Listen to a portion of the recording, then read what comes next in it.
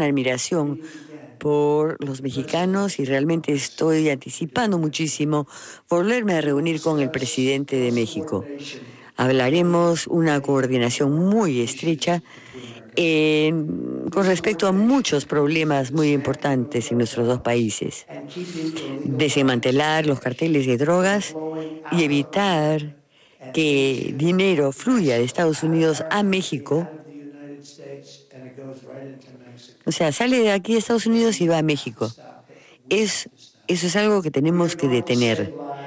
Vamos a salvar vidas a ambos lados de la frontera. Y también entendemos que una economía fuerte y saludable en México es algo muy bueno para, este, eh, para Estados Unidos. Al trabajar juntos en un buen comercio, fronteras seguras, una cooperación económica, realmente pienso que podemos mejorar nuestras relaciones a un punto nunca antes visto nuestra relación con México va a mejorar. Este es un pequeño resumen de lo que voy a hacer en, mis decretos ejecutivos. El secretario de Seguridad Interior, trabajando conmigo y con mi personal, va a empezar la construcción inmediata de un muro fronterizo.